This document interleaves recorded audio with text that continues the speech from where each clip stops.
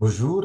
Aujourd'hui, nous allons continuer notre parcours de euh, formation dans cet univers euh, assez vaste, riche, qui est celui des systèmes d'information géographique. La semaine dernière, nous avions euh, regardé ensemble le passage entre de, de FileMaker, d'une base de données relationnelle à, des systèmes d'information euh, géographiques. Euh, nous avons vu donc comment exporter de façon assez rapide des données en tableur XLS, c'est-à-dire en tableur un format qui peut être euh, lu par des logiciels comme Excel ou encore comme tableur de LibreOffice, Excel étant appartenant plutôt à la suite Microsoft Office. Et nous avons par la suite euh, vu comment euh, convertir un, euh, un tableur XLS en fichier CSV, CSV étant l'acronyme de comme separated values, valeur séparée par la virgule. Néanmoins, nous avons vu que la virgule n'est pas toujours le délimiteur, le séparateur qui est utilisé par les logiciels pour séparer les valeurs. Euh, voilà, donc ça dépendra euh, au cas par cas, c'est à paramétrer au cas par cas. Euh, parfois, c'est le, le semi-colonne, donc c'est le, le point-virgule, parfois c'est les deux points, parfois c'est les guillemets. À vous de, de comprendre le délimiteur qui a été utilisé, mais enfin, CSV regroupe l'ensemble de ces, le paquet de ces solutions.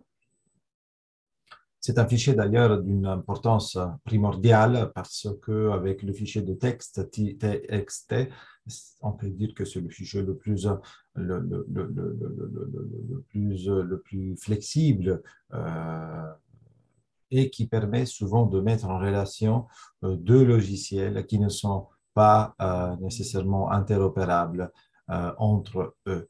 Donc, il, est, il est important de, euh, de les maîtriser, de maîtriser le fichier CSV, euh, d'en connaître l'existence et, les champs d'application. Voilà. En l'occurrence, bien, euh, bien qu'il soit tout à fait possible de mettre en relation FileMaker avec QGIS, nous avons opté pour une solution plus légère, plus simple, c'est-à-dire de, une fois terminée la base de données, de passer en l'environnement de QGIS, logiciel qui gère un système d'information géographique. Attention enfin à faire, à faire toujours la distinction entre un SIG et le logiciel qui gère le système. QGIS, QGIS, si vous travaillez plutôt avec des logiciels propriétaires et payants. Et euh, donc voilà, euh, l'idée étant que nous n'avons pas le temps pour mettre vraiment pour euh, créer un système qui permette de, euh, de, de, relationner la base de relationnelle avec QGIS, FileMaker et QGIS. Cela demanderait d'autres compétences, mais surtout beaucoup plus de temps pour vous expliquer comment faire dialoguer Hein, parce qu'il s'agit de ça, de mettre, de faire dialoguer, de rendre, de rendre interopérable euh, deux logiciels euh, qui ne le sont euh, pas forcément par défaut. Voilà. Hum. Voilà, donc nous avons peut-être de faire une, une requête d'un FileMaker, de l'exporter en tableur et de la, euh, et alors je partage aussi mon écran comme ça, tout, euh, voilà, tout cela sera plus euh, simple pour vous. nous avons donc, voilà, fait une requête qui par la suite de, dans notre base de données, nous l'avons exporté en fichier XLS, enfin enregistré évidemment, exporté d'abord en fichier XLS, donc tableur, nous l'avons converti en fichier CSV, vous le voyez ici. Nous avons vu que pour euh, ouvrir un fichier CSV, bon, euh, on peut utiliser euh, Excel évidemment, mais quand on ouvre Excel, eh ben, vous n'avez pas forcément l'impression que quelque chose soit passé depuis le passage de XLS en XLSX en CSV. En revanche, vous avez pu euh, constater que si l'on ouvre le même fichier en utilisant un LibreOffice, et notamment LibreOffice, c'est le paquet, non, c'est la suite, et notamment Tableur, vous avez la possibilité de, de, voilà, de paramétrer l'ouverture de votre fichier. Et donc, c'est là que vous vous rendez compte que quelque chose s'est passé et qu'il y a des séparateurs ou des délimiteurs. Ça dépend toujours du logiciel. Certains parlent de délimiteurs, d'autres de séparateurs, vous voyez, qu'il faut utiliser. En l'occurrence, vous voyez, la virgule, elle n'est pas suffisante parce qu'on n'a pas la mise en, page par euh, en tableau, euh, tableur, donc il faudra probablement enlever la virgule et choisir un autre séparateur qui, comme vous voyez, est le point virgule. Et normalement, euh, voilà, le tableur s'affiche de façon correcte. Et c'est là que vous pouvez ouvrir le fichier SSV étant clair que quelque chose qu'il ne faut jamais oublier, et le codage euh, que vous avez choisi lors de l'exportation CSV et que vous allez choisir lors de l'importation de CSV dans d'autres logiciels. Donc, si vous avez utilisé un codage UTF-8, qui est le codage international, c'est un peu la langue franche, si, on peut dire comme ça, euh, qu'on utilise le plus souvent en informatique. Euh, dès, dès, lors que vous allez importer ce fichier en QGIS, vous devez utiliser forcément l'UTF-8 parce que Autrement, vous risquez d'avoir des euh, caractères spéciaux comme les, euh, accents, euh, les apostrophes, les, les, points d'interrogation, etc., enfin, qui vont être qui vont être réinterprétés par d'autres codages et donc vous allez avoir des choses assez bizarres euh, lors de l'ouverture de votre euh, fichier. Donc voilà, euh, ça c'est important et puis on ouvre et puis voilà, bon, on tombe sur un tableur Excel ou un tableur tout court qui n'est pas Excel mais qui a désormais une extension CSV. Voilà, donc on a par la suite, où, vous le savez désormais, on a importé notre euh, tableur, euh, tableur CSV, notre fichier CSV. On l'a d'abord importé en, en, euh, Google Earth, vous savez, donc on est passé par l'importation. Et voilà dans notre fichier CSV et on a, euh, voilà, là aussi, vous voyez, comme on est passé de euh, séparateur à délimiteur. Voilà, ça change, c'est un, un synonyme si vous voulez. Et on a bien mis l'accent sur le fait, voilà, vous voyez, euh, ici, il n'y a pas de délimiteur, il faut le choisir, il faut le sélectionner parce qu'autrement, vous voyez, il n'y a pas de de tableur qui s'affiche. Donc, vous pouvez euh, évidemment essayer aussi. Voilà, euh, vous voyez un peu ce que ça donne. Mais bon, ça ne marche pas. Vous voyez, la virgule, d'ailleurs, vous le savez, parce qu'on vient de le faire en, en LibreOffice et ça ne marchait pas non plus. Donc, quand on n'a pas quand on voit que les choses ne marchent pas en utilisant la virgule, malgré la définition du fichier comme separated values, eh ben, on va utiliser le point virgule. Par exemple, c'est l'un des premiers délimiteurs et puis, vous savez, vous connaissez désormais euh, le problème, entre guillemets, qui n'est pas un problème, c'est l'intelligence plutôt de Google qui détecte la présence de cases vides et de champs vides et qui donc fait décaler euh, éventuellement les, les, données, plutôt les métadonnées, on devrait dire, dans les rubriques. Par conséquent, euh, voilà, vous savez qu'il faut décocher cette épingle ici, cette case ici, et pour avoir quelque chose de propre. Vous voyez, si je le coche, c'est comme ça, l'habitat, la chronologie se décale, mais sinon, voilà, on va voir ça. Donc, bref, on continue, on laisse tomber parce que ce n'était pas le budget, on a déjà fait cela. C'est juste pour revenir un peu mettre, euh, comparer les deux choses. Et de là, hum, on avait, euh, bah, euh, on s'était rendu compte que, bon, Google Earth est un logiciel, disons, assez performant vous savez, il existe une version libre et propriétaire. La version que nous utilisons est une version libre qui permet déjà de faire des choses assez jolies hein, euh, et qui est une forme assez basique, essentielle de euh, système d'information géographique ou de, voilà, de logiciel qui gère un système d'information géographique ou qui permet d'en créer un.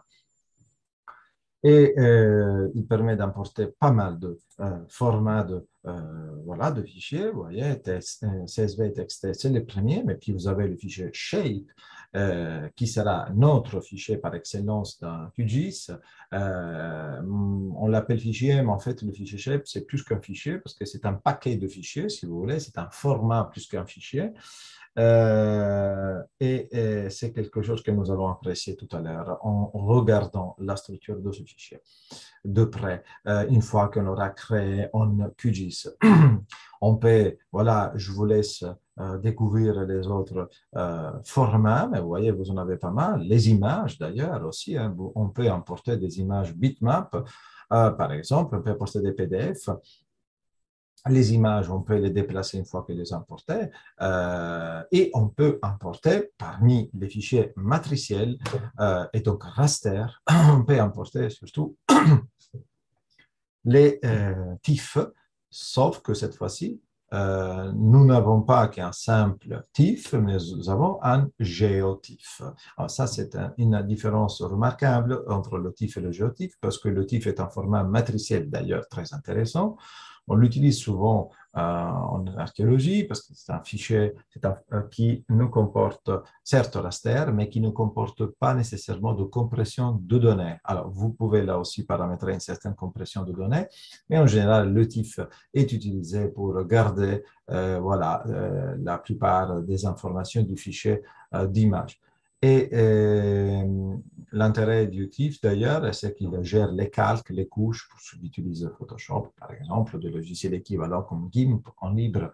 Ils savent très bien que le TIFF permet de, euh, gérer euh, plusieurs calques, alors que, par exemple, les calques n'existent pas, ne sont pas gérables, en tout cas, dans un fichier JPEG, bitmap, etc. Donc, TIFF est intéressant en soi. Euh, cela dit, comme vous le savez, désormais, bon, euh, pour revenir aux paramètres initiaux de la prise de vue, les, gens qui travaillent avec euh, la photographie et qui hum, font, par exemple, des levées photogrammétriques, ils utilisent plutôt, au départ en tout cas, les fichiers RAW, R-A-W, euh, qui normalement veut dire brut, qui euh, vous permet en réalité d'ouvrir l'image avec ces paramètres vraiment initiaux de prise de vue et pouvoir manipuler, modifier les choses comme si vous étiez en train encore de faire une photo. Voilà, en gros, euh, c'est le fichier euh, brut qui euh, vous permet de ajuster des choses si la photo ne correspond vraiment pas, pas vraiment à, vos attentes avant de l'exporter et de l'enregistrer sous forme de TIFF, PNG, JPEG, etc. Géotype, je disais, est très intéressant dans la mesure où le, format, euh, le fichier géotype, le,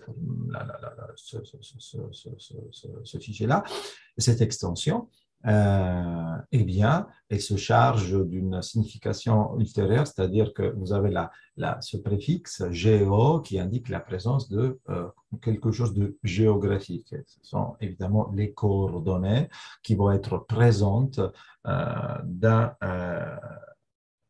dans l'image euh, euh, elle-même et qui permettront, donc ça veut dire que l'image, le, fichier géotif est un, fichier donc euh, géoréférencé, est une image géoréférencée, pas simplement une image, une image de haute qualité géoréférencée, un raster, qui contient à la fois les coordonnées X, Y, Z, mais aussi, ce qui est très important d'ailleurs, il ne faut pas l'oublier, contient également les euh, un autre élément fondamental sur lequel les coordonnées n'auraient pas trop d'intérêt, c'est-à-dire le système de référence des coordonnées. Donc, on avance. Euh, on avait aussi appris à faire les trois entités typiques de notre euh, système d'information, enfin, de, n'importe quel euh, système de formation géographique, c'est-à-dire les points, les, entités ponctuelles, des entités euh, linéaires et des entités polygonales. On avait fait donc l'entrée de l'Institut d'art et d'archéologie qui est une entité ponctuelle qui en Google, euh, Google Earth prend le nombre de repères. On avait fait une entité linéaire qui est le trajet, l'itinéraire qui va de l'entrée de l'Institut d'art et d'archéologie à la sortie ou l'entrée, si vous préférez, de l'URRB, et qui est une entité linéaire. Et puis, on avait utilisé l'entité polygonale, le polygone, pour euh, dessiner, euh, bien que sur une orthophoto euh, déformée par l'effet de perspective, vous le voyez très bien, bon, on l'a fait aussi en vitesse, euh, dessiner l'emprise de l'Institut d'art et d'archéologie. Voilà, tout cela, euh, par la suite, a été, euh, comment dire, inséré à l'intérieur d'un dossier. Pour créer un dossier en Google, il suffit de, de, voilà, d'aller quelque part. Alors, moi, personnellement, voilà, je passe pas par là, je ne je sais pas si, voilà, exactement, vous pouvez, vous pouvez passer par ajouter un dossier, vous pouvez faire ça, donc il vous crée un dossier. Euh, que vous allez renommer et voilà, dans lequel vous allez déplacer des entités. sinon, il suffit de se mettre sur le lieu temporaire et vous pouvez faire ajouter un dossier, c'est plus simple. une fois que vous avez créé le dossier, qui est en réalité celui-là, vous allez euh, glisser à l'intérieur les entités. OK? Une fois terminé, je vous avais appris à faire quoi? À l'enregistrer sous, parce que si vous ne l'enregistrez pas, eh ben vous allez le perdre. Donc, vous devez enregistrer le lieu sous et vous allez l'exporter euh, quelque part, vous allez enregistrer quelque part sur le bureau. Nous l'avons fait la semaine dernière et euh, euh, c'est justement celui que je viens d'ouvrir. On l'avait également ouvert pour, pour apprécier la structure. On l'avait ouvert, on peut l'ouvrir avec un bloc-notes, on peut l'ouvrir avec Sublime Text, on peut l'ouvrir avec des logiciels de traitement de texte. Enfin, en tout cas, avec le plus simple, parce que c'est celui que tout le monde a, probablement. Euh, vous allez en apprécier la structure, d'abord la question de mise en page et ensuite vous allez arriver, vous voyez ici sur, euh, sur, sur ce qu'on vient de faire, c'est-à-dire sur, euh, sur nos points, sur nos lignes et sur notre polygone. Et donc voilà. Ce qu'on euh, on avait vu aussi euh, la semaine dernière, c'était que, euh, alors par exemple, là, c'est notre, attendez, je vais quand même l'agrandir un petit peu, comme ça, voilà, on voit mieux. Sinon, là, on avait un retour de la ligne qui était très gênant et nous empêchait de regarder les choses. Par exemple, ça, c'est l'entrée de l'Institut d'art et d'archéologie. On a dit que c'est une structure ponctuelle et pour la structure ponctuelle, on a des coordonnées qui sont la, longitude, la latitude et l'altitude. Je vous disais la semaine dernière, et je le répète aujourd'hui, l'altitude, cette, cette euh, information que Google appelle l'altitude, euh, et euh, zéro, mais en réalité, c'est une information un peu erronée. En réalité, elle n'est pas zéro, parce qu'évidemment, elle a sa propre euh, altitude. le problème, c'est que Google Earth ne l'affiche pas par défaut, donc il faudrait, pour la récupérer, utiliser un logiciel libre que je vous montrerai la semaine dernière, afin de pouvoir éventuellement également, ça c'est intéressant, construire des modèles d'élévation euh, de surface, par exemple, à partir de la euh, à partir de Google. Mais il faut passer par un petit logiciel. Bon, et du coup, vous avez les trois coordonnées, vous avez le type d'entité. De, de, même qu'ici, vous avez le type d'entité pour le trajet, c'est une line string, c'est une ligne, et toutes les coordonnées, euh, autant de coordonnées multiplié par 3, évidemment, que le nombre de points de notre ligne. Évidemment, à chaque fois qu'on clique un point, on a trois coordonnées. Faut pas oublier, bien que la troisième soit toujours en, en zéro, pour l'instant en tout cas. Voilà, je m'arrête là, puis on a le polygone, vous voyez, pour l'emprise. Euh, on avait appris aussi, on avait à un moment donné importé euh, déjà en QGIS, tout simplement en glissant ce, cela en QGIS. C'est quelque chose que, voilà, ça, ça, ça, ça, se fait très rapidement. Donc, mon QGIS, il est fermé. Donc, moi, moi je n'ai pas, vous voyez, j'ai la version 3.10 qui n'est pas la toute dernière. D'ailleurs, en salle informatique, à l'Institut d'art, nous avons la 3.8. Aujourd'hui, on est arrivé à la 3.22, mais la plus stable, si je ne me trompe pas, c'est la 3.16. Voilà. Euh, enfin, les 3, 4 marchent pareil, marchent assez bien, donc ne euh, soyez pas euh, bouleversés par la diversité, la différence de version.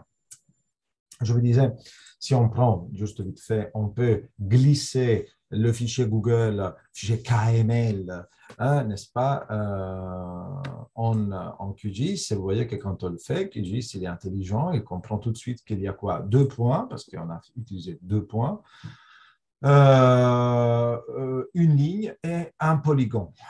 Eh bien, pour avoir euh, pour les importer, il faut les sélectionner et il faut cliquer sur OK. Il y a une épingle, enfin une case éventuellement à cocher ou pas, ça dépend de vous.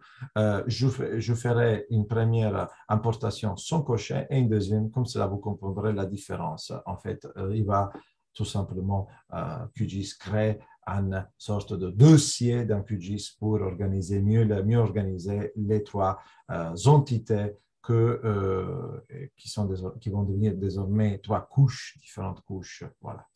Donc voilà, là, par exemple, on les a importés euh, et, et voilà que vous avez trois couches.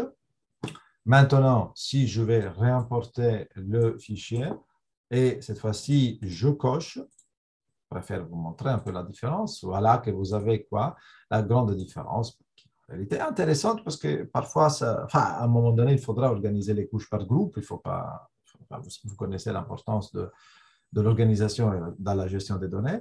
Et donc, euh, voilà, c'est déjà fait. Cela, dit, supposons que vous, vous ayez importé euh, euh, quelque chose Google, de, en KML sans organiser, sans cocher la case, bon, c'est pas grave vous pouvez, on va supprimer le deuxième, la deuxième importation, vous pouvez à tout moment réajuster les choses, réorganiser en créant un groupe, vous voyez, et vous l'appelez IA comme c'était le cas, et vous le mettez à l'intérieur, vous glissez à l'intérieur, vous sélectionnez les trois et vous les glissez à l'intérieur. Donc, vous êtes, voilà, vous êtes arrivé au même euh, résultat. Euh, alors, avant de continuer, vous savez, pour moi, il est très important que la première chose que vous euh, à faire soit l'enregistrement du projet. On va, va nulle part sinon, hein, on commence, on commence même pas. il est primordial l'enregistrement du projet. Comment on enregistre le projet? Ben, C'est simple, euh, évidemment, on va dans un projet, euh, enregistrer sous et on va euh, donner un nom à notre projet et on l'enregistrer dans le format qui est le format de QGIS, qui est un format QGS ou QGZ. La différence étant entre le S et le Z, que Z est compressé et S non. On verra cela à nouveau dans quelques instants, mais maintenant la question est où, où on va enregistrer notre notre, notre euh, projet. Alors là, euh, je vous disais à vos camarades, il est très, très important que le fichier soit enregistré euh, en, à un endroit qui ne sera plus déplacé, ne sera plus modifié. Parce que, voilà, le problème, c'est que nous allons maintenant rentrer, insérer dans notre sujet pas mal d'informations, pas mal de données, raster euh, ou vecteurs.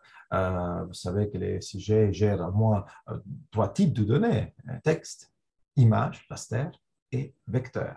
Et ces euh, données euh, qui deviendront plus ou moins hein, autant de couches, euh, ça dépendra hein, de la façon dont vous allez gérer ces données, mais en tout cas, ces données qui deviendront aussi des couches, eh bien, seront à la fois visualisées, gérées, analysées, interrogées dans votre sujet et aussi, par contre, seront stockées dans des dossiers.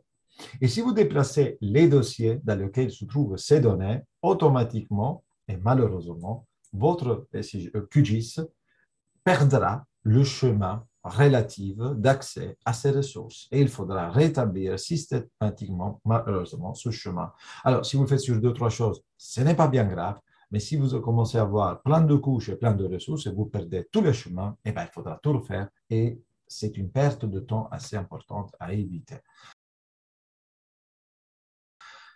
En plus, la question concerne également les consignes euh, que j'ai mis sur votre sujet, comme voyez, sur votre EPI. Comme vous voyez, euh, à la fois pour les bases données et pour les sujets, je vous avais demandé de hum, déposer le tout sur l'EPI. Mais en fait, en réfléchissant à posteriori, et donc suite à cet enregistrement, vous verrez la modification déjà sur votre EPI. en fait, dans votre EPI, il n'est pas possible de déposer des fichiers des bases de données ou bien du SIG sur l'EPI pour une simple raison qui est liée à la limite de taille des fichiers euh, sur euh, l'EPI. Vous savez, la limite maximale sur l'EPI est de 20 mégaoctets. Or, 20 mégaoctets, si vous commencez à mettre 5, 6 ou 7 images, euh, je parle pour la base de données et des fichiers assez un peu lourds pour le SIG, eh ben, la, taille, la, la limite est atteinte immédiatement. Donc, vous n'avez aucune possibilité de, de après de déposer, vous serez obligé de m'envoyer ça par transfert, par Filex, j'espère en tout cas mieux que transfert pour des raisons que vous connaissez désormais. Alors, autant vous dire qu'il vaut mieux éviter cela et profiter de ce que euh, l'université, euh, notre université, nous met à disposition, le cloud de OneDrive, donc auquel vous avez accès en passant par votre euh, EPI, enfin ONT, voilà, vous, vous cliquez sur, pardon, sur OneDrive, voilà, et automatiquement, euh, en moyennant votre identifiant de parrain, vous accédez euh, voilà, déjà à, votre euh, connecté. Vous allez accéder, voyez, à votre cloud OneDrive. Moi, je n'en ai pas besoin. Moi, j'utilise mon cloud personnel. C'est pourquoi, vous voyez, il n'est pas utilisé, mais en réalité, bon, voilà, c'est pas grave. et vous avez ici dans la partie haute à gauche, la possibilité euh, d'aller euh, déposer des choses sur votre OneDrive pour ensuite pouvoir les partager. En réalité, moi, je vous, vous donne un conseil, moi, je vous donne un autre conseil, c'est-à-dire d'aller installer euh, l'application OneDrive. Comme cela, vous aurez l'application directement dans votre ordinateur, c'est-à-dire celle qui s'affiche normalement sur PC ici, vous voyez, et sur Mac, vous l'avez dans la partie supérieure ici, OneDrive. Et puis, vous aurez le dossier OneDrive ici, vous voyez, vous ouvrez n'importe quel dossier de votre ordinateur et vous allez, euh, voilà, ici, euh, OneDrive avec la possibilité de créer, par exemple, votre dossier qu'on va appeler projet euh, SIG, on va l'appeler 3011 2021, euh, OK, voilà. On a donc créé notre dossier. Puis, si vous voulez y accéder rapidement, enfin, sans, passer à chaque fois par votre dossier OneDrive, par, par l'arborescence en tout cas, vous pouvez créer ou bien un alias si vous utilisez Mac, ou bien vous l'envoyez vers le euh, bureau voilà, comme ça, vous fermez ça et vous n'avez plus de euh, problème à ce niveau. Euh, excusez-moi, parce que c'est toujours un peu galère avec, euh, quand on a Zoom ouvert, c'est la barre de Zoom qui dérange. Voilà. Donc, à partir de maintenant, vous passez directement par ce lien sur votre bureau, si vous le souhaitez. Hein. Bon, et donc, on disait, on va maintenant enregistrer notre projet QGIS. On va, euh, désormais, on a créé le dossier. On l'a créé à l'intérieur du OneDrive. Euh, demain, vous avez envie de le partager avec moi pour le rendu final. Eh bien, euh, comment vous partagez quelque chose? Eh bien, vous allez sur votre OneDrive. C'est pas celui-là le mien pour l'instant. Je vous montre celui que j'utilise en réalité euh, tout le temps, qui euh, est plutôt celui-là, vous voyez, c'est mon OneDrive personnel. Et euh, donc, pardon, vous allez là et on va les mettre par ordre. Et voilà qu'à la fin, j'ai mon projet SIG que je viens de déposer à l'intérieur de mon ordinateur, mais puisque mon ordinateur est désormais connecté à OneDrive, il le voit même en ligne. Je clique euh, je sélectionne mon dossier et je fais partager, comme divide est partagé en français. Je suis désolé pour l'italien, mais je n'arrive jamais à modifier cela. Il le fait par défaut. Ensuite, on ne donne pas la possibilité de modifier, donc on va euh, désactiver l'autorisation de modification. On, applique cela et on peut, par exemple, ou bien insérer mon, mon mail, euh, par lien, ou bien, encore plus simplement, hein, je ne vous oblige pas de faire ça, vous pourriez créer un, lien, le copier et le mettre sur l'EPI pour, pour, que je puisse télécharger et accéder à votre fichier OneDrive, euh, et donc à votre dossier OneDrive.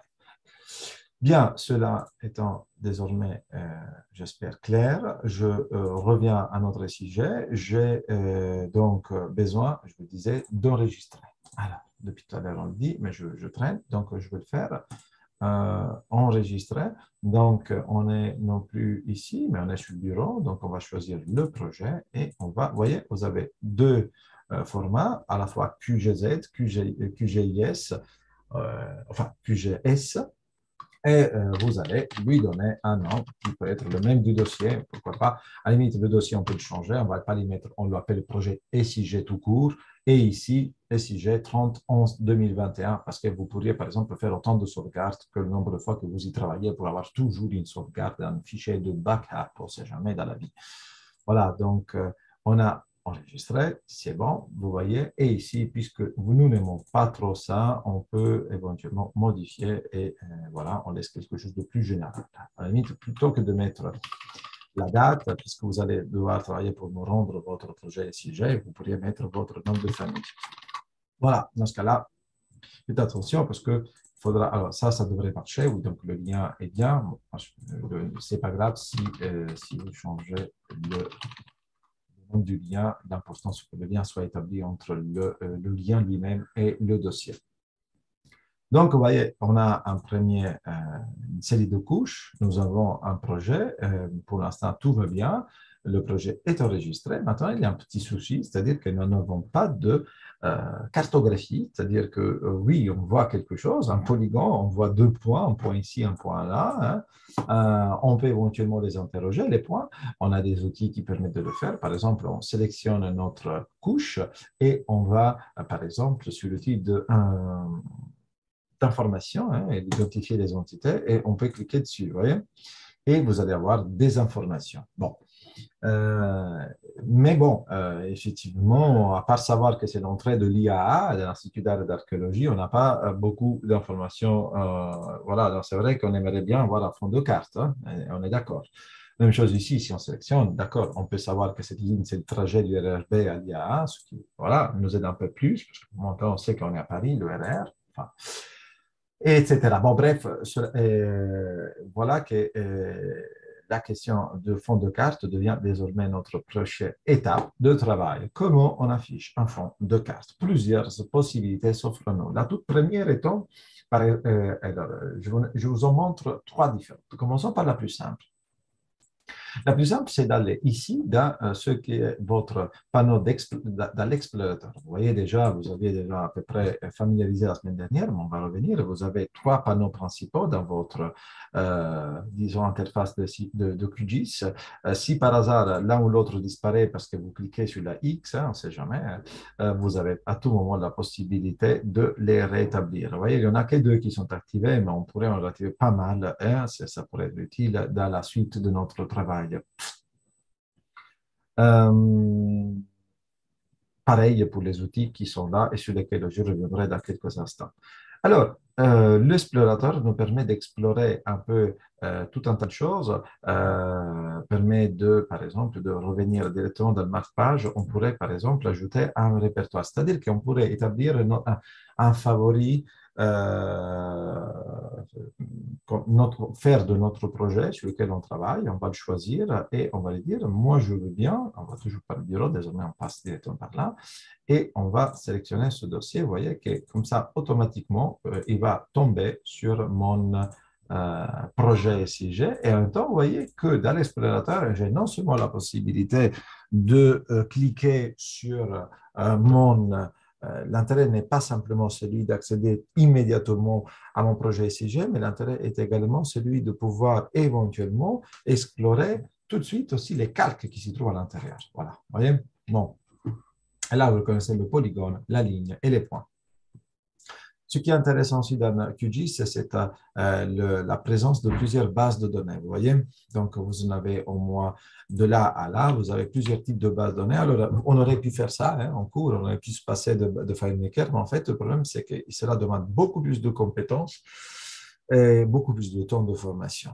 Déjà, FileMaker, c'était euh, une aventure, imaginez, d'expliquer des bases de données qui sont en réalité des géodatabases, c'est-à-dire des bases de données qui intègrent la dimension géographique par défaut, euh, contrairement à FileMaker qui n'a pas nécessairement la dimension géographique. C'est nous-mêmes qui avons créé les coordonnées X, Y, Z, rappelez-vous, en FileMaker. Je montrais à vos camarades hier la possibilité, par exemple, de faire une base de données très rapide avec le GeoPackage euh, en créant une base de données. Je vous le montre, mais c'est une initiation vraiment très, très rapide. Et je disais, voyez, vous allez créer une nouvelle base de données ici. Donc, euh, euh, on va se mettre toujours dans notre projet, GeoPackage, base de données test. Et, euh, et, puis, bon, le nombre de la table, on va commencer par le nombre de la table. On peut dire, par exemple, rue, la première table, on va l'appeler rue. Et il nous demande la géométrie. Vous voyez, FileMaker ne demandait pas la géométrie, contrairement à SIG, euh, pardon. Et, euh, et, là, par exemple, les, les rues, bon, est-ce que c'est un point? Non. Est-ce que c'est une ligne? Éventuellement. Ou un polygone c'est-à-dire, une ligne, c'est ou bien un trajet, juste une, euh, une rue, c'est ou bien une petite ligne, ou bien quelque chose qui a une surface. En archéologie, soyons clairs, une rue, c'est à sa propre surface. Donc, normalement, il faudrait choisir polygone. Puisqu'on va un peu synthétiser, simplifier les choses, pourquoi pas faisons ligne. Et choisissons la ligne. Et puis, nous tombons sur quelque chose de très intéressant qui est la, la, la, la le système de euh, référence des coordonnées. Euh, que vous trouvez d'ailleurs ici en bas euh, et que vous devez vérifier à tout moment. Alors, le système en l'occurrence, c'est le euh, EPCG 4326. Eh bien, ce EPCG 4326 et, correspond à ce que l'on appelle le WGS 84, qui est le World Geodetic System 84. vous, vous entendez déjà World Geometric System, ça veut dire que c'est un système euh, géodésique mondial, c'est-à-dire qu'il essaie de s'adapter à la totalité du, de, la Terre. la Terre, euh, vous savez, euh, on connaît l'histoire, on connaît les problèmes, c'est une, une, forme à peu près sphéroïde, on va dire, n'est-ce pas, le géoïde, avec tous les problèmes euh, de modélisation que nous connaissons, euh, qui font en sorte que parfois on utilise le géoïde, parfois l'ellipsoïde. Et là aussi, il n'y a pas un ellipsoïde, mais il y a plusieurs ellipsoïdes en fonction du, point, de l'endroit de la Terre dans lequel on se trouve. Bien, euh, on, synthétise, on simplifie, parce qu'on a déjà discuté en plus de cela. la question là du système de référence des coordonnées est primordiale en SIG. C'est quelque chose dont on parle régulièrement et sur laquelle je reviendrai maintes reprises. Pour l'instant, on n'y touche pas. Parce que celle qui est proposée par défaut par la QGIS euh, est euh, le système de référence de coordonnées qui est proposé par défaut et celui de Google. Google utilise deux systèmes, 4326, 3857, les deux, qui, si vous allez vérifier, sont absolument identiques et qui se basent sur un système de projection euh, que l'on appelle pseudo-mercator. Vous l'avez vu, pseudo-mercator, c'est un système de projection qui conserve les angles, mais pas les distances. Euh, euh, mais pas les surfaces, pardon. Euh, et, intéressant parce que voilà a été créé, inventé, imaginé pour pouvoir permettre la navigation à partir de la, Renaissance. Voilà. Et, mais qui, malheureusement ne conservant pas les la taille des surfaces, bah, a fini par avoir des déformations assez, assez, assez bizarres. C'est-à-dire que le Groenland ressemble à la même taille que l'Afrique. Et le Groenland est même plus grand que l'Amérique latine. C'est un système de projection qui fonctionnait bien pour la navigation, que Google continue à utiliser, mais c'est un système de projection qui a fait aussi l'objet de critiques. On va l'utiliser parce qu'on a utilisé Google à la base, et, donc on va rester dans le même système euh, de, euh, de, Google. Cela dit, quand vous, lancez un projet euh, SIG, un nouveau, vous n'avez pas forcément un système de référence. Le système, vous le voyez ici en bas, parce que moi, j'ai importé immédiatement le projet qu'on avait réalisé ensemble de l'Institut relatif à l'Institut d'art, et puisque ce projet avait été réalisé en Google Earth, et puisque Google Earth utilise le 4326, QGIS qui est intelligent, a compris immédiatement le système de référence de ces trois couches et il a fini par l'adopter. Voilà.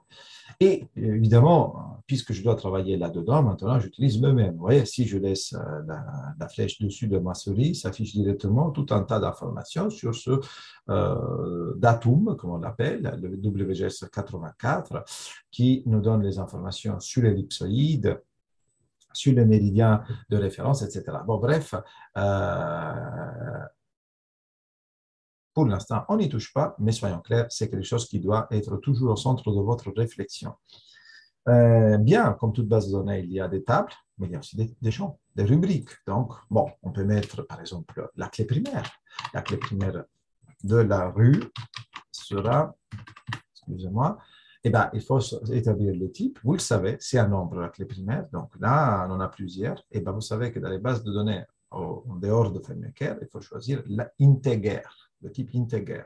Integer, en français, c'est entier. Voilà. Et, on ajoute le champ. On peut ajouter évidemment le nom de la rue. Mais cette fois-ci, ce n'est pas un nombre, c'est du texte. Et on ajoute. Et on peut continuer comme cela. Euh, on peut, euh, on laisse les choses pareilles et on fait OK. Et vous voyez que euh, un nouveau lien, un nouveau une nouvelle couche s'est désormais créée dans ma, voilà, dans ma base de données et automatiquement, elle a été transférée aussi dans mes couches. Je peux éventuellement la sortir de mon groupe qui n'a peut-être rien à voir avec ma couche. Vous voyez, il suffit de la déplacer si j'y arrive. Pour aller en dehors. Euh, c'est alors je vais essayer de me mettre à l'extérieur. Euh, euh, bon, tant pis. je pourrais éventuellement, normalement, voilà, je vais voir. Et voilà, c'est bon. On se mettre un peu à droite. Comme ça, je l'ai sorti du groupe. Je voulais aussi vous montrer cette manipulation. C'est jamais. Donc euh, voilà, bon, c'était juste pour vous donner une petite introduction, mais vraiment très très très basique. Le problème du jeu package, euh, ici en l'occurrence, c'est que vous pouvez, contrairement pas à, à, à, vous ne pouvez pas euh, créer des bases relationnelles, en tout cas pas de la complexité que nous avons réussi à mettre en place au sein de FileMaker. Bon, euh, évidemment, euh, c'est juste, euh, comment dire, partie remise, parce que si parmi vous, il y a des personnes intéressées par cela qui souhaitent travailler là-dessus, je suis toujours à votre disposition, et non seulement avec le jeu package, mais je pense plutôt à Spatial Light qui permet de faire des choses encore plus intéressantes. Bien, vous voyez que maintenant, puisque j'ai fait une petite modification, il y a une petite étoile qui s'affiche à côté de projet, donc je vais enregistrer comme si. Et on va passer maintenant donc aux, trois moyens de euh, construire, d'afficher des cartes. Très rapidement, je vous disais la première possibilité est d'aller ici. Donc, euh, je vous ai mis sur l'épi. Et donc, j'y vais, comme ça, ça va être plus simple pour vous, euh, sur l'épi d'un dans la partie finale de votre épi, vous avez tile X, Y, Z. Je vous montre déjà. Alors, qu'est-ce qui se passe? Qu'est-ce que ce sont ces tiles Ces tiles, c'est des données, et ce sont des fournisseurs de données qui permettent, par exemple, qui nous donnent des liens qui pointe vers, voyez, des images PNG en l'occurrence, des rasters euh, qui font référence à OpenStreetMap, à Google Hybrid, à Google Satellite, à Bing, etc. et qui euh, permettent euh, d'afficher des fonds de cartes dans notre SIG. C'est-à-dire que nous mettons en connexion, nous allons mettre en connexion notre SIG avec des fournisseurs de données de données ouvertes, open data, et on est dans ce contexte, qui nous permettent d'avoir une cartographie, une, un fond de carte. Voilà. Comment on fait cela? Eh bien, on va sur X, Y, on fait une nouvelle collection, et une nouvelle connexion, on va euh, copier-coller ce que je vous ai donné ici. Par exemple, on va prendre ce lien. Alors, s'il vous plaît, tout le monde fait la même erreur. Ne copiez pas s'il y en a. Faites attention à une chose à ne pas avoir d'espace à la fin. Vous voyez, j'ai fait un copier-coller, vous le voyez très bien, et il y a de l'espace ici. Si cet espace reste là et vous ne le fassiez pas, la carte ne s'affichera pas. Donc, attention à le supprimer. Alors, pardon, j'ai copié au mauvais endroit, évidemment. Euh, je ne devais pas le mettre dans le nom, mais dans l'URL, c'est là. Et dans le nom, vous mettez OpenStreetMap, par exemple. Et vous laissez les paramétrages de base pour l'instant. Donc, vous faites OK. Et vous allez retrouver, j'en ai déjà pas mal, moi, vous voyez, il est là. Et vous voyez qu'il est caractérisé par une icône qui euh, représente des pixels. C'est une image euh, raster. Si vous voulez l'afficher, eh ben, il suffit de double-cliquer maintenant dessus. Et vous voyez que votre euh, fond de carte, c'est désormais s'affiche désormais correctement dans notre panneau principal. Or, ce qu'il faut savoir, c'est que, comme dans la stratification archéologique, la couche supérieure recouvre et cache la couche inférieure. Si vous voulez voir les, points, les lignes, les, polygones que nous avons tracés tout à l'heure, et eh ben, dans ce cas-là, il faudra déplacer notre OSM, notre euh, OpenStreetMap, fond de carte, à la fin. C'est essentiel. Et là, vous allez voir, tout réapparaît. Par ailleurs, je expliquais euh, aussi que vous pouvez double-cliquer dessus et, par exemple, euh, réduire la transparence. Comme ça, ça va être moins fort et ça, voilà, je la mets à 50%, vous voyez, et ça fera ressortir un peu plus euh, les lignes, les polygones et les points. cela dit, on reviendra sur la question de la symbologie la semaine prochaine, mais enfin, pour l'instant, ça devrait être suffisant. Donc, une première façon de faire, je vous laisse découvrir le reste que vous avez ici, c'est de passer par l'X, Y, Z. La deuxième façon de faire, si vous voulez un fond de carte, c'est d'aller euh, aller dans les extensions et d'installer une extension ou un plugin, comme on l'appelle. Et parmi ces plugins, euh, il y en a un en particulier, on commence par celui-là, on en installera euh, d'autres encore, mais ce n'est pas le seul, qui s'appelle Quick Map Services. alors, il faut se mettre déjà, non pas dans installer, mais dans tout, hein, et il faut le chercher. Donc, vous voyez, Quick Map Services, vous le cherchez dans tout. Moi, je l'avais installé, évidemment, j'ai un peu désinstallé tous mes plugins pour, vous permettre d'être à niveau avec vous. Et on clique dessus donc, cliquez dessus et vous pouvez, vous voyez, installer les plugins. Parfois, vous, devez, vous avez les plugins déjà, vous voulez juste les mettre à jour. Hein. Ça, ça se fait régulièrement, donc faites-le si c'est le cas dans les années à venir. Mais là, pour le coup, on va juste l'installer. Voilà, le plugin a été installé avec succès. Alors, extension plugin, c'est quoi un plugin? C'est quelque chose qui permet de booster votre euh, logiciel. C'est quelque chose qui euh, développe davantage le potentiel et fonctionnalités de votre, euh, rajoute des fonctionnalités à votre logiciel. Une fois que vous l'avez installé dans cette extension, vous le trouvez où? Ce plugin, il est ici, dans Internet. Et vous avez, voilà, voilà, toute une série de choses qui s'affichent. Alors, normalement, moi, j'en ai déjà parce qu'effectivement, il me les a, il les a gardées dans, dans sa mémoire. Normalement, euh, vous, euh, par défaut, vous n'en avez que deux, la NASA et, je pense, OpenStreetMap. Voilà, je pense. Je ne suis pas sûr, mais enfin, vous n'en avez que deux d'habitude, par défaut. Comment faire pour euh, avoir l'ensemble de ces cartes? Si vous en avez besoin Vous allez dans Settings ou Paramètres et vous allez dans More Services à la fin, donc vous avez cinq onglets, vous allez ici et vous faites Get Contributed Pack. Voilà. Vous faites OK, c'est bon, last version was downloaded, la dernière version a été téléchargée, vous faites enregistrer.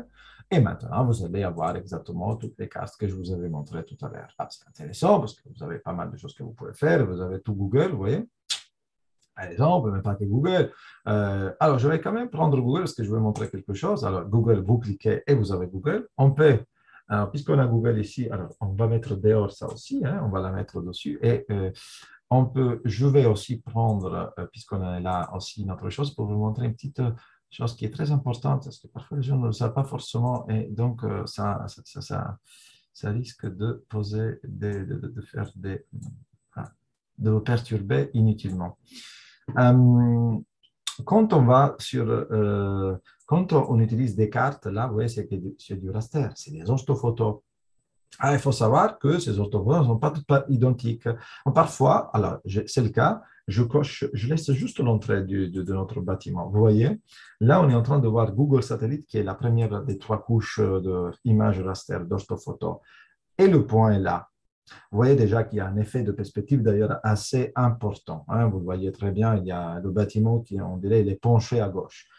Euh, si, vous, euh, alors, ça, si vous comparez euh, Google Satellite à Esri Satellite, Esri est la maison de la société mère de ArcGIS, le concurrent propriétaire de QGIS.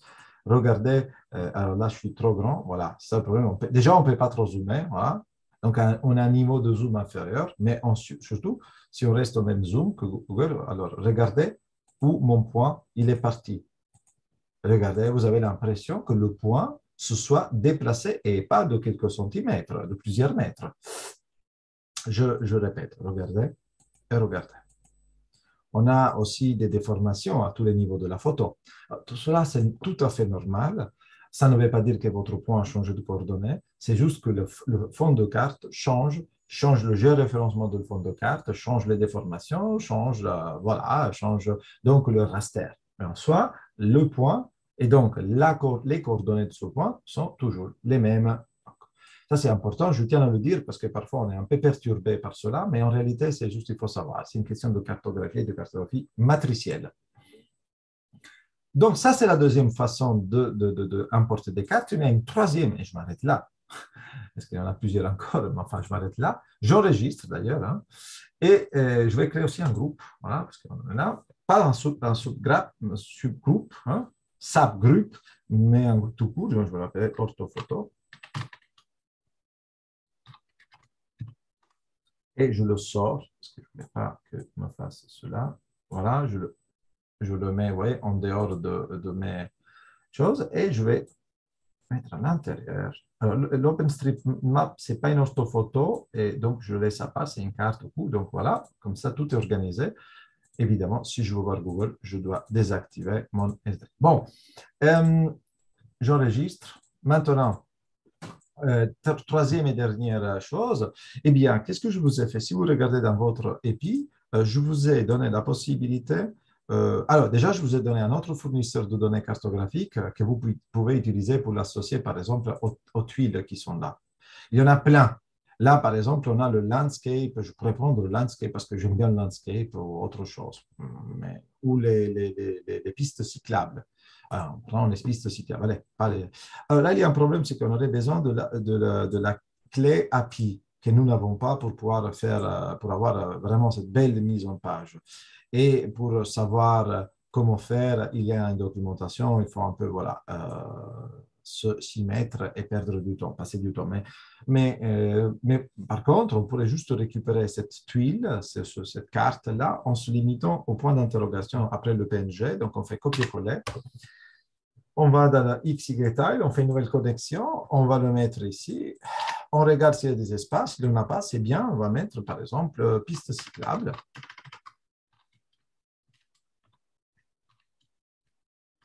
cyclable, euh, cyclable.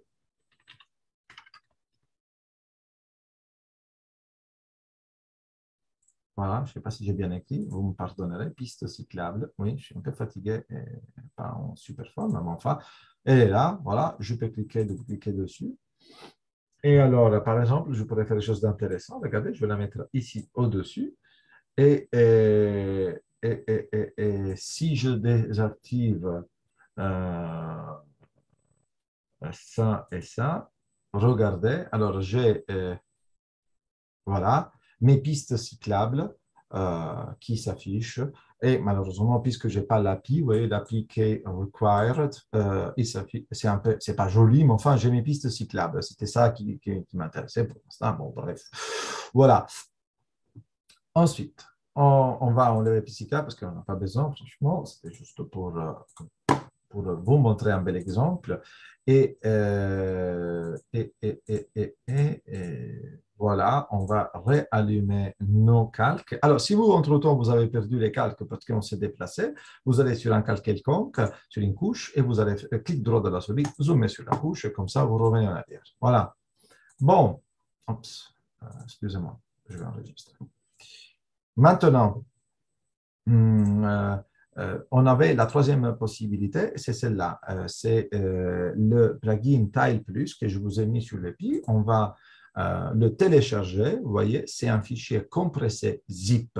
Alors, c'est un plugin qui n'est pas présent parmi les, plugins mis à disposition par défaut par QGIS. Et donc, c'est une source externe euh, qui a mis à disposition ce plugin. C'est pourquoi j'ai dû d'abord le télécharger et puis le déposer sur votre EPI. J'ai fait le boulot à votre place. Maintenant, qu'est-ce qu'on fait? Eh bien, on va dans Extension, Installer, et on va euh, chercher le zip. On va installer depuis un zip. Donc, c'est une façon un peu différente d'installer un plugin. Rien d'extraordinaire. mais c'est notre façon de faire. On va chercher le zip dans les téléchargements, euh, voilà, et on va donc l'installer. Il vous a vous ouvre une fenêtre d'avertissement disant que bon, c'est un plugin qui n'a pas une relation directe avec QGIS, donc on ne sait jamais, on ne vous assure pas, il, y a pas de, il y a un risque de, sécurité. Je vous assure que c'est bon, vous pouvez continuer, oui. Le plugin est installé. Il est où le plugin? Comment on y accède? Eh bien, euh, il est là. Ah, il est là ou il est quelque part ici sur la barre euh, de, votre, de vos outils. Donc, vous trouverez, parce que c'est une T avec un plus en rouge, T noir, enfin, carré noir avec un T blanc et un plus euh, rouge. Qu'est-ce qui se passe? Bah, Si on clique dessus, c'est intéressant. Bah, enfin, euh, c'est quelque chose qui intéresse surtout les, je dirais, les, les, les, géographes. Hein. Euh, mais par exemple, bah, à nouveau, vous avez pas mal de, photos. Hein. Ce qui est intéressant dans ce cas-là, c'est que vous pouvez, pas toujours, hein, ouais, mais euh, vous pouvez, par exemple, si on va prendre le rainfall prediction, je montre toujours cet exemple parce que c'est assez voilà, emblématique, eh bien, vous pouvez, par exemple, définir, préciser, déjà, il faut qu'il charge. Et puis, vous avez des dates que vous pouvez choisir pour connaître euh, voilà, le, niveau de, précipitation pluviale, voilà, de pluie qu'il va y avoir. Donc là, par exemple, je pourrais mettre latest, la plus récente, et je vais faire un place. Je la rajoute à ma carte. Alors, je ne vais quand même pas la mettre à l'intérieur, je vais la mettre ici. voilà, au-dessus de... Déjà Oui. Voilà. Et si maintenant, je vais me déplacer, pour donner le temps de voilà, de charger et vous avez euh, voilà, ce qui se passe au niveau des précipitations voilà, d'un monde entier. Voilà. Extrêmement intéressant. Enfin, encore une fois, ce n'est pas pour vous, mais bon, voilà, c'est un, un plugin qui peut être intéressant et, et, et, et qui, qui fait mieux comprendre aussi en quoi, à quoi ça sert le, le, sujet. Je vous le montre aussi parce que pour moi, l'intérêt est double. Enfin, euh, vous voyez les petits carrés qui ne sont rien d'autre que des pixels. Là aussi, soyons clairs, même si ça peut paraître, ça ne peut pas paraître le cas, on a affaire avec des pixels. Euh, voilà, donc, euh, hmm, voilà, c'est tout. donc, c'est bon pour cet aspect-là. Euh, on peut quand même supprimer euh, cette couche, on n'a pas besoin. Et on va passer à la troisième et dernière étape de notre travail, qui est la création maintenant de trois entités, un point, une ligne, un polygone. Alors, euh, nous les avons déjà, déjà, vous me direz, oui, mais parce qu'on les a importés de Google. Maintenant, on va les faire manuellement. Donc, on va décocher ça, sans les effacer, parce qu'on n'a pas besoin. Et à la limite, on, renomme le groupe Google en l'appelant euh, IAA euh, import Google. Google Earth. Allez, j'ai.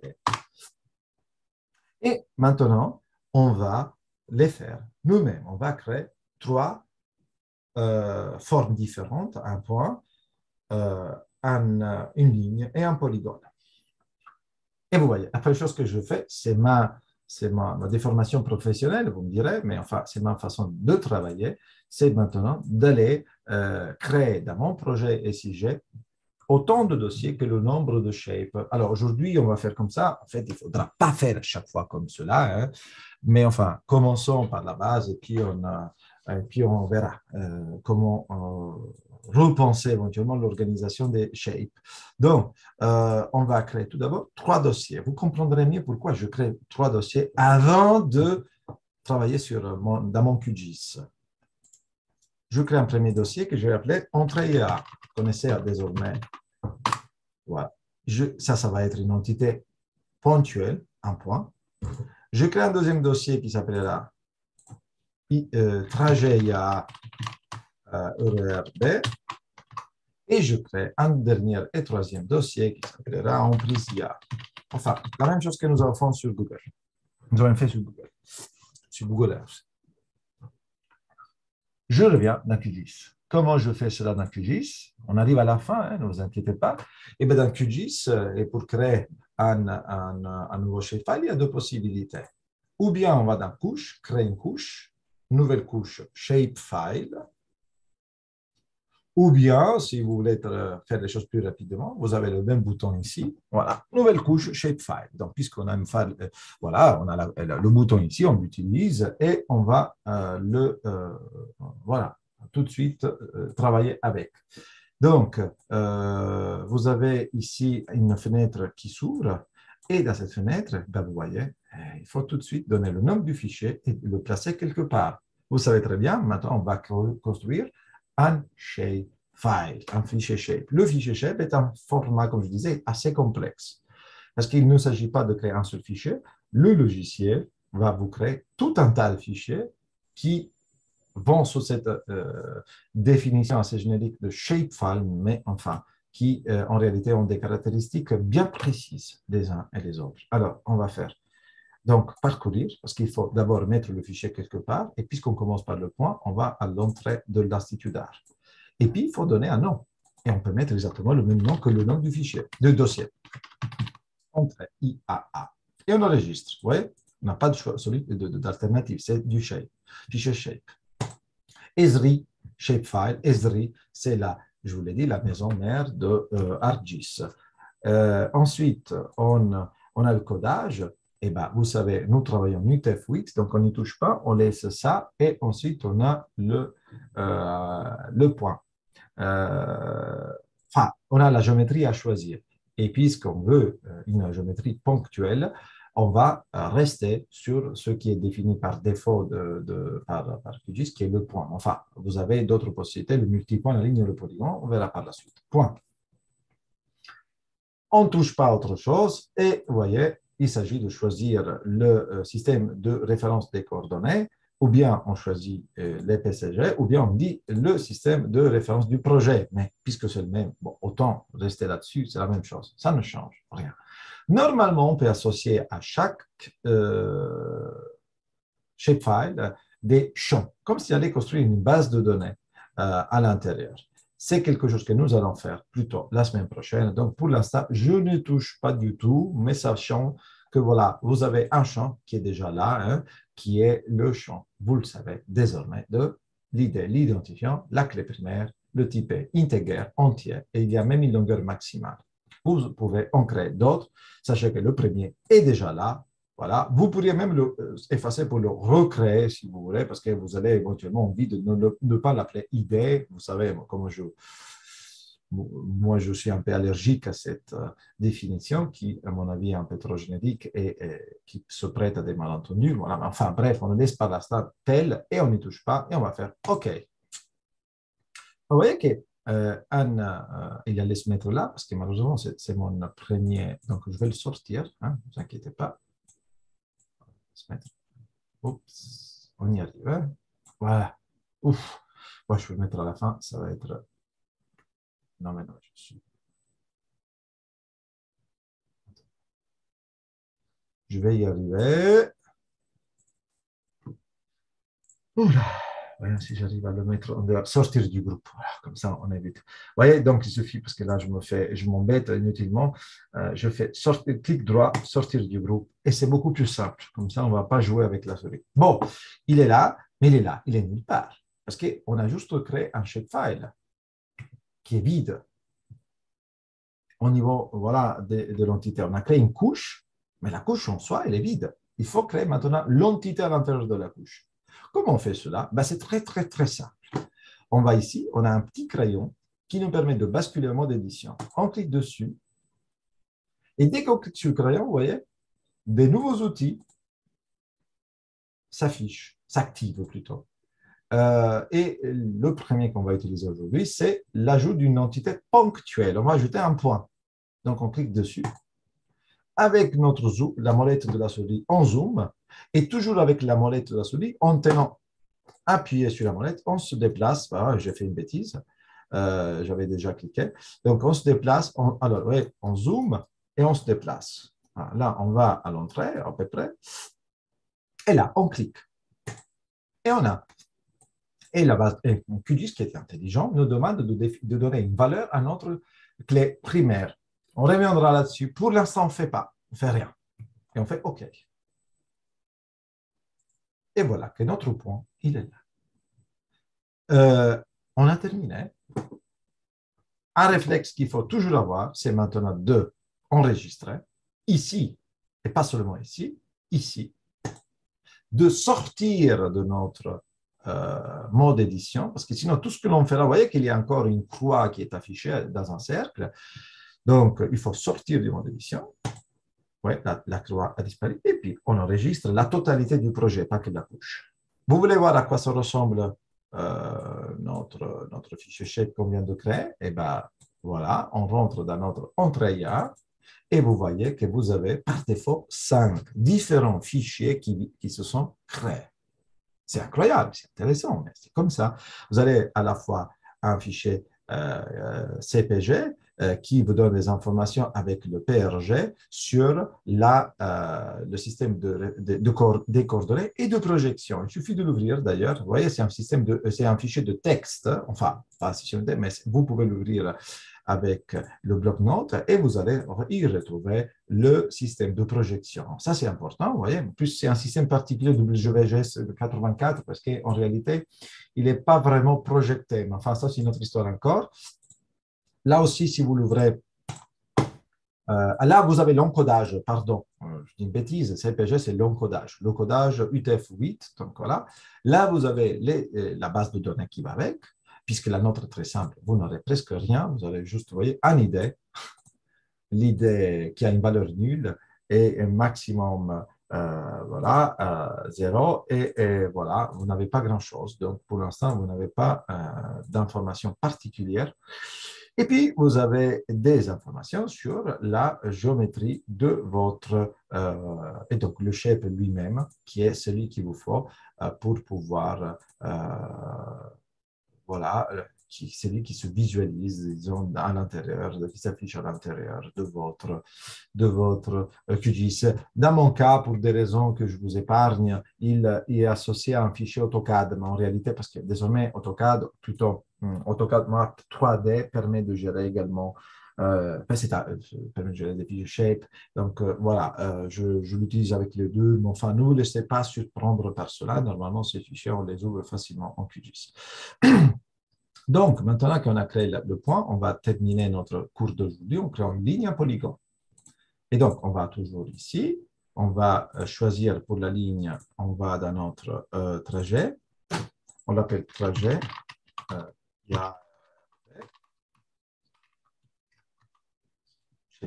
on est dans le trajet, très bien. Cette fois-ci, on n'est pas un point, on a besoin d'une ligne. On laisse tout pareil. On peut, si on veut ajouter un nouveau champ, pas. Et on a, vous voyez, le trajet qui est là. Là aussi, qu'est-ce qu'on fait? On va définir maintenant un trajet. Euh, on va se mettre sur le euh, mode d'édition et on peut commencer à tracer le projet. Sauf que, je voulais vous montrer une chose. Quand on se met là, en mode édition, voilà, on a la possibilité d'ajouter une ligne. Vous voyez, si je vais vraiment m'accrocher à ce point, je n'ai pas la possibilité de le faire. Il manque quelque chose. Il faut, autrement dit, euh, activer l'accrochage, le, magnétisme, autrement. Et on le trouve où? Eh bien, c'est simple. Vous allez dans Vue, barre d'outils, accrochage.